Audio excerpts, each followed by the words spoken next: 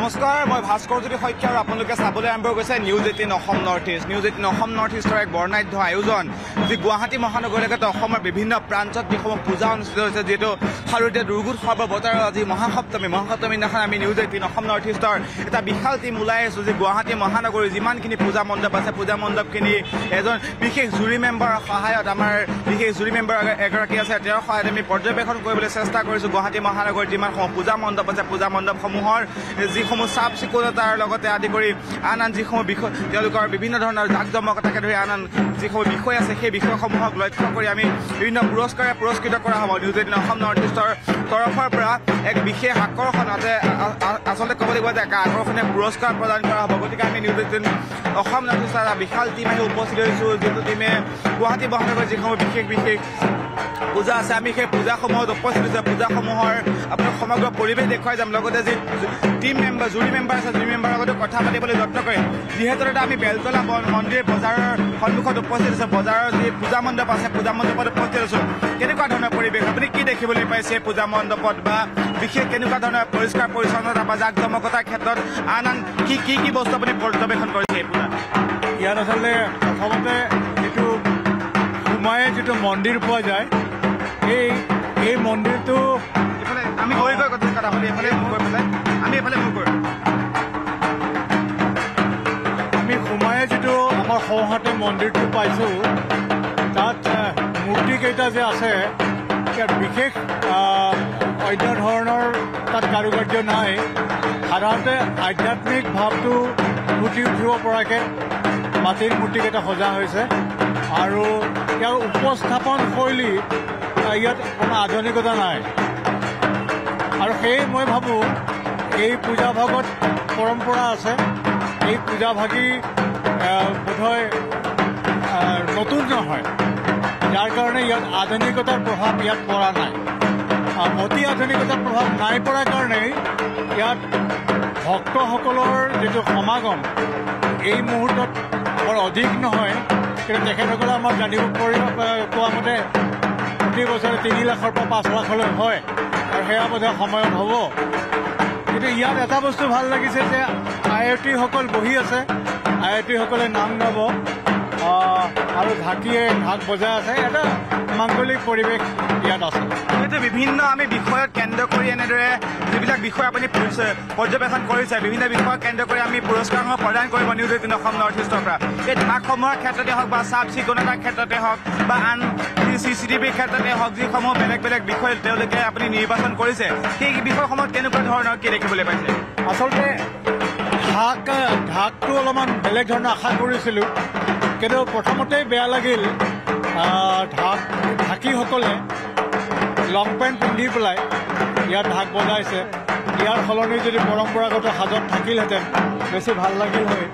আৰু ইয়াত আমি ঢাক ঢাকিয়াসকলৰ যিটো যুঁজ থাকিব লাগে বজোৱাৰ যিটো হেৰি থাকিব লাগে সেইটো অকণমান কম পাইছোঁ। মানে বজাব লাগে কাৰণেহে বজোৱাই একদম যান্ত্ৰিকভাৱে তেওঁলোকে বজাইছে আৰু ইয়াত এটা বস্তু ভাল লাগিছে সেয়া হ'ল স্থানীয় লোকসকল গোট খাইছে আৰু স্থানীয় লোকসকলে ধুনীয়াকৈ বহি ইয়াত পূজা উপভোগ কৰিছে সেইটো ভাল লাগিছে।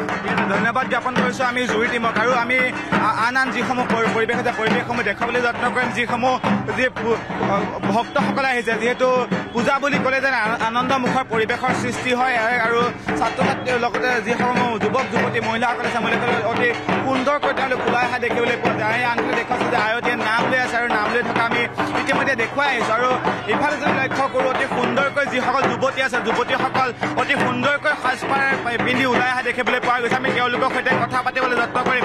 তেওঁলোকৰ পৰা জানিবলৈ যত্ন কৰিম। যিহেতু আজি মহাসপ্তমী মহাসপ্তমী। হয়তো আপোনাৰ পৰা যদি জানিবলৈ যত্ন কৰোঁ মহাসপ্তমী কি ক'ব? কি ক'ব আজি মহাসপ্তমী এনেদৰে সকলো ওলাই আহিছে অতি সুন্দৰকৈ সাজ পোছাক কৰি আপুনি ওলাই আহিছে কি ক'ব বিচাৰিব?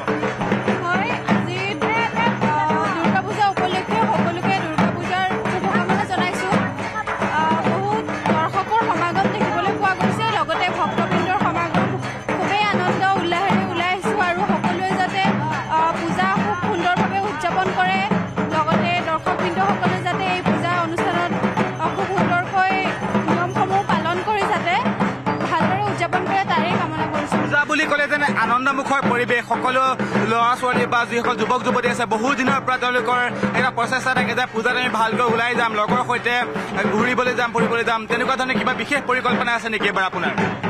তেনেকুৱা একো নাই যিহেতু পূজা সকলোৰে মনত আনন্দ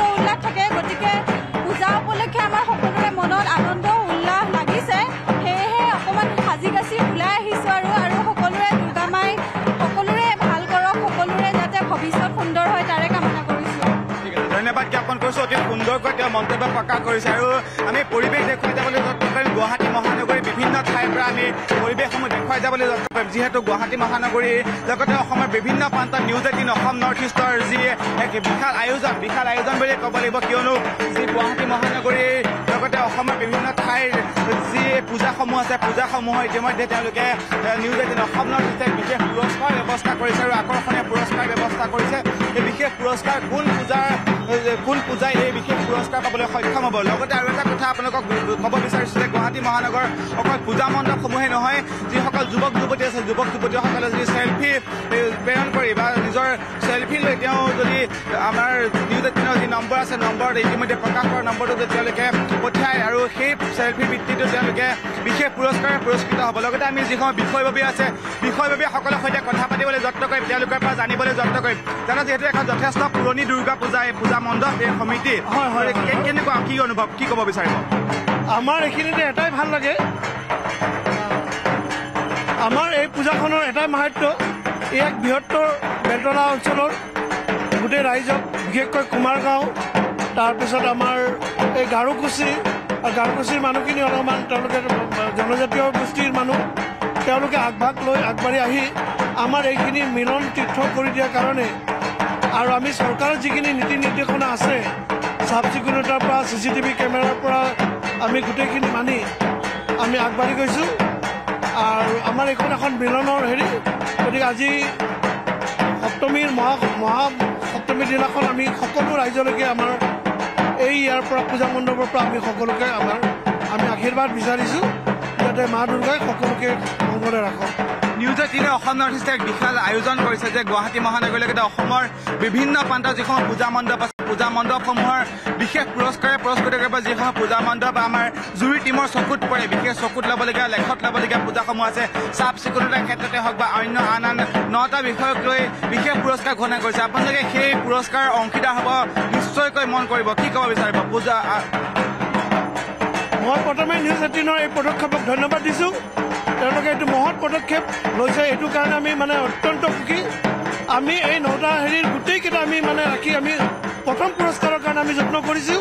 যত্ন কৰিম যাতে আমাৰ মা দুৰ্গা আশীৰ্বাদ কৰক। আৰু যিখিনি তেওঁলোকে বিবেচনা কৰিছে আমি শ্ৰেষ্ঠত হ'ম বুলি দৃঢ়তাৰে ক'ব পাৰোঁ এইখিনি আমাৰ ক'বলগীয়া।